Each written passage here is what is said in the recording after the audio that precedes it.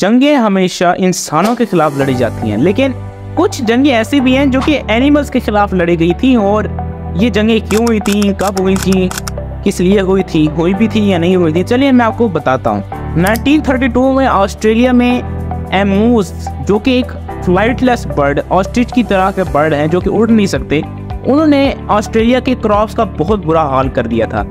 यानी कि जितनी क्रॉप्स लगाते थे उससे टेन परसेंट भी नहीं मिलती थी, क्योंकि एमोज उनका बहुत बुरा हाल कर देते थे। ऑस्ट्रेलिया से इतना तंग आया कि उसने जंग का ऐलान कर दिया प्रॉपर जंग का। और इस सोल्जर्स थे, उनको मशीन गन्स तक के हाई लेवल इक्विपमेंट दिए गए।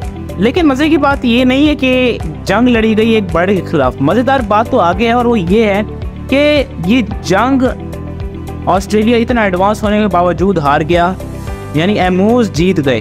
बर्ड्स प्रॉपर आर्मर्ड सोल्जर्स के खिलाफ लड़े और पूरे ऑस्ट्रेलिया की आर्मी से जीत गए। ये असल मज़ेदार बात ये है।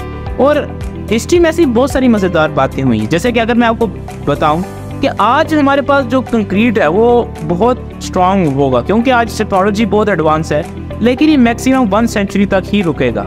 लेकिन अगर हम एंशंट रोमन कंक्रीट को जाके देखते हैं तो हमें आज भी पता चलता है कि वो यार कई सदियों से खड़ा हुआ है लेकिन ऐसा क्यों है? इसकी क्या वजह है? इसकी वजह यह है कि उस ज़माने में कंक्रीट जो था उसको वोल्केनिक एशेस से बनाया जाता था। उसके अंदर खास अमाउंट डाली जाती थी जिसकी वजह से जो कंक्रीट है उसके अंदर एक एक्स्ट्रा ड्यूरेबिलिटी आ, आ जाती थी। और कुछ वोल्केनिक कंपाउंड्स तो ऐसे हैं जो कि डायमंड से भी ज़्यादा स्ट्रॉन्ग हैं और उससे कई गुना ज़्यादा लाइट भी हैं। और ये मैंने अपनी पिछली वीडियोस में भी बताया है। और जब ये चीज़ें कंक्रीट में डाली जाए तो कंक्रीट में एक्स्ट्रा ड्यूरेबिलिटी आ जाती।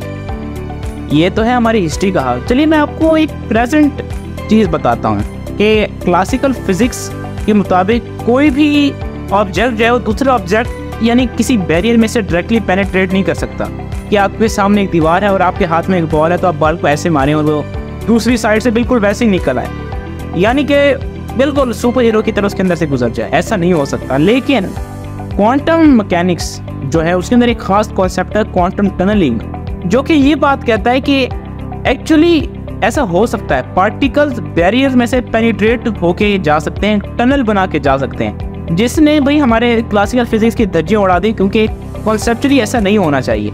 लेकिन ऐसा हो सकता है और जब फिजिक्स को ये बात मालूम हुई तो बहुत सारे एक्सपेरिमेंट्स में भी उन्होंने ये चीज़ नोटिस की, है ना, मज़ेदार बात? और तो और, एक और बड़ी मज़ेदार बात मैं आपको बताता हूँ कि आपने टोटल फोर स्टेट्स पढ़ी होगी मैटर की मैक्सिमम फिफ्थ पढ़ी होगी, जो कि है B C Bose Einstein condensate लेकिन एक्चुअली मैटर की ट्वेंटी प्लस स्टेट्स हैं और उनमें से एक स्टेट जो है, वो टाइम क्रिस्टल्स हैं, जो कि बड़ी इंटरेस्टिंग चीज़ है क्योंकि नाम से ही बड़ी प्यारी चीज़ लगती है। और वो ये है कि ये मतलब यूनिवर्स के एंड तक बगैर एनर्जी लॉस के मूव कर सकते हैं। क्योंकि मैं आपको अगर सिंपल टर्म में बताऊँ तो ये एक्चुअली टाइम अपने आप को रिपीट कर सकते हैं। यानी आप कह सकते हैं टाइम अपने लिए पॉज कर लेते हैं। जब टाइम पॉज हो गया तो एनर्जी पॉज हो गई एनर्जी पॉज हो गई तो लूज नहीं होगी। लूज नहीं होगी तो इन इन्फिनिटली वो मूव कर सकते हैं पार्टिकल्स जो कि बड़ी दिमाग हिलाने वाली बात लगती है। तो आज के लिए इतना दिमाग हिलाना काफ़ी है। अगली वीडियो में मिलेंगे, तब तक के लिए बाय